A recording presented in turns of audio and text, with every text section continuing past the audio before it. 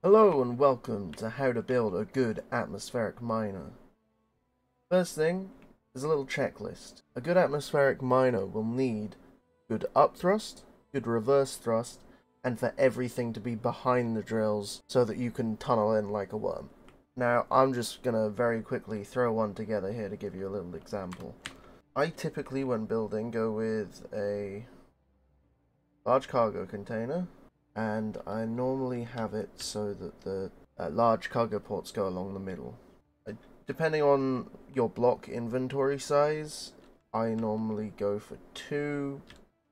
Unless you've got your block inventory size on massive, then one will be all you can really afford because you'll need so much upthrust to keep it up otherwise.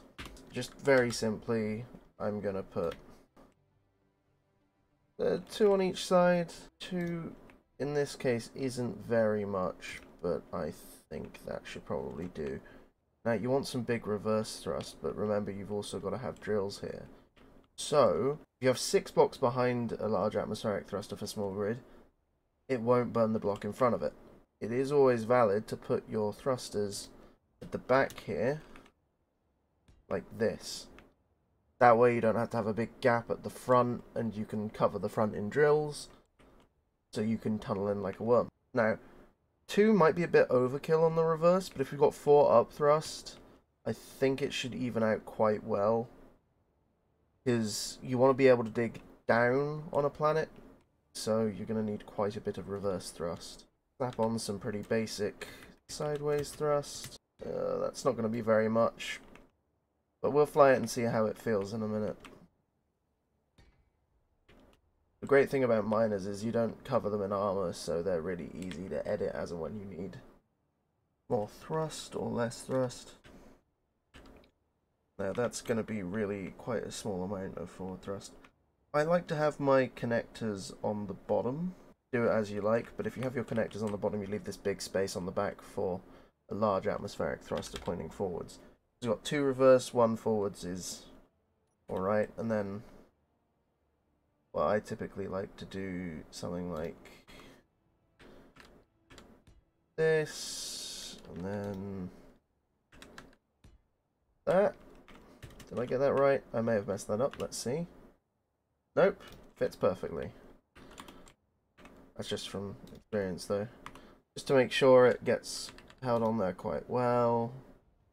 Having armor going all the way along on both sides should do that. Should probably do one on the top as well. Eh, bit of a shorter one on the top.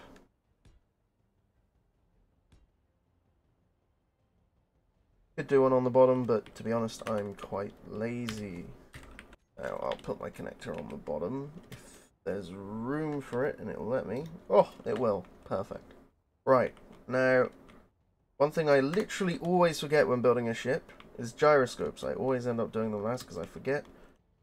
Hide them in here. That should be fine, because let's be honest, if you lose your cargo container, you've got bigger problems than not having gyro power. like, for instance, you know, all of the forwards and backwards thrust. But, hmm, yeah, it is probably worth bracing these two so that your thrust is linked together. And then you can even come around here and link the back thruster. So you won't have reverse thrust, but you'll have forward thrust and sideways thrust. You can angle it in such a way that it won't actually you won't be able to angle it because you won't have the up thrust.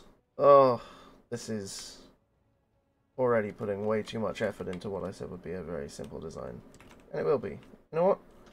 Because we're in creative at the minute, I can mirror it so I don't have to put as much effort in because I am Again, very lazy. That's that's not. Uh, it's it's fine. It's exactly what I intended to do there, and you can't prove otherwise. I'll do flat one and then one like that. So all of your thrust is now linked. You won't be able to turn because your gyroscopes will have gone. Uh, fine. I suppose I should move them too. More redundant than I ever make a miner. I usually just throw them together incredibly quickly and then wait for somebody else who's playing with me to crash them, because that's what usually happens. Anyway, oh, I forgot to mention you probably shouldn't cover up these side panels, but I did it anyway, so I will go ahead and pipe it up to the bottom there, because I did leave space, because I have a connector. It's fine and lovely. You're on an oxygen-rich planet like I am, you won't need an O2H2 or an oxygen tank or anything like that, but if you do need that sort of thing. I mean, on this one you can fit an oxygen tank vertically here. And it won't be poking out too far. And it won't get burnt because the atmospheric thrusters only do a one by one and it's directly down the middle, that's fine. Also realizing that I have missed batteries. One battery there, that will not be enough. Oh no, I left space for it, I'm a genius. This was all planned. Like that. And then they're braced through the battery as well. So, we will shove a cockpit on here. Depends how nice you want it to look to how which cockpit you put on it. I think most people like this sort of cockpit. Doesn't need to be hooked up in any way if you're on a planet with atmosphere. Although, I've just put an oxygen tank on it, so I guess I should probably hook this up. Uh, where's the conveyor ports on this?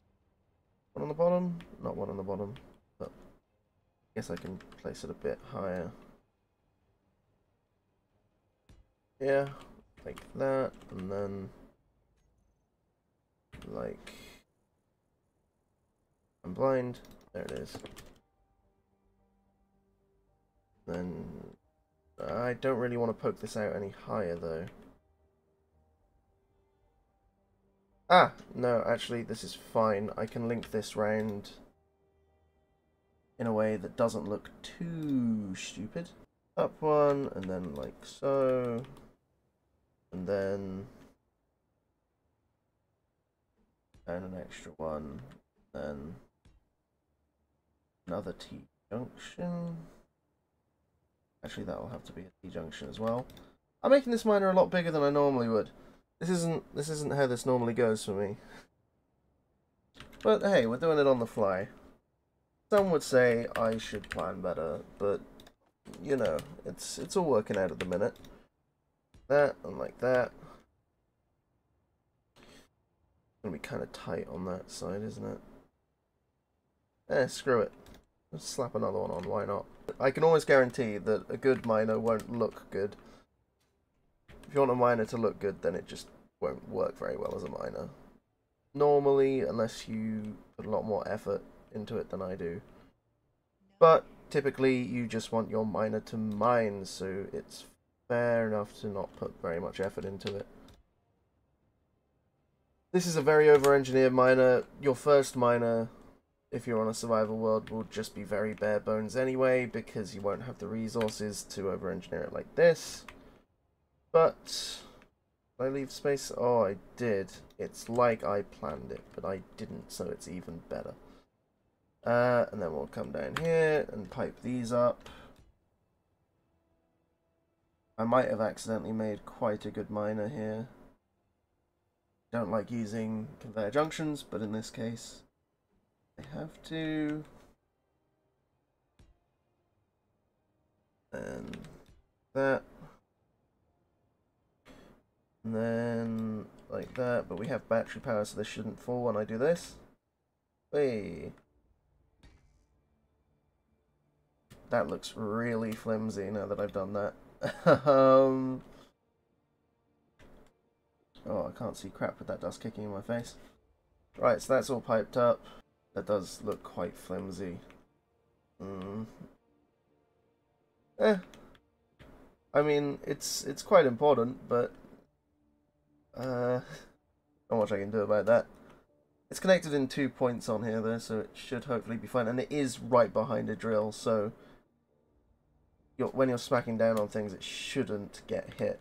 Especially because the connector's there as well. It's fine. I take back what I said about this probably being a good miner now, but, you know. We look at this, what you want to do is you want to check that you can do fully up and fully reverse because those are your biggest directions at the same time without going 100%. Well, I do go at 100%, which isn't exactly what you want to see here. Okay, most directions, but you want to be able to go... How much does up use? 70? 73? You don't want to be maxing out when you're moving and going up, otherwise when you're flying back, you will just plummet out of the sky, because you'll be using a lot more up thrust. I am going to see if I can fit a few more batteries on here. Oh, actually, I can fit another battery right here. Doesn't even too badly obstruct the view from the seat. There we go. So, this is your perfect little miner. I say perfect. It doesn't burn things, I don't think. You've always got to be careful when you're mining. Never press space when you're down in a hole because you have a lot more upthrust than you think you do, so you will just slam into the roof. Always try and go an angle up rather than space. It never ends well. But we will just give this a little test. Oh, let's give it a little test on some stone, shall we? I'll upload this to the workshop as well, because I can do that, and not too big of a hassle. If this works out properly. Uh, actually, obviously you would also want to bind things up, like... Now, I don't typically put landing gear on my miners, because they're always going to mine something and then dock back to the base. Anyway, let's see. it's not doing too badly. I am I am trying to see how it will go in, so if I gyro lock it, then hopefully it will go a lot straighter into its own hole. Uh, you see we might want another one in the middle at the top there. No, actually it seems to be doing alright. Because this is left-click mining. So, if it's fine here, it'll be fine no matter what. So that's pretty good. Doesn't have a lot of power at the minute because these batteries aren't charged. I'm using creative tools, but this is a survival world, so those batteries don't start fully charged. How are we doing stone-wise? Are we full? We are full. That's that's quite a lot of stone. Not particularly fast on gyros, but you don't really want it to be. But hey, yeah, it's it go up. It's a bit sluggish on the going up, so you will have to be careful when bringing it into land and stuff, but it's not maxing out on power, and that's what usually makes people crash. When they're trying to slow down incredibly, and they max out on power, so the upthrust can't get enough, and then they just plummet. Oh, I've seen that happen way too many times. But always remember you do have quite a lot of upthrust, so you can just sort of helicopter it. Ooh. Okay. Quite full. Not actually slowing down enough here. Uh. Okay, a bit of a nudge. So once it's fully loaded, you might want to be careful when descending, but I will put this on the workshop. But it can actually successfully carry all of that load, and that was 10, 10, 10, 20, uh, what, maybe like 300k stone? That is pretty good. Anyway, I hope you've enjoyed this little tutorial. I will see you in the next one.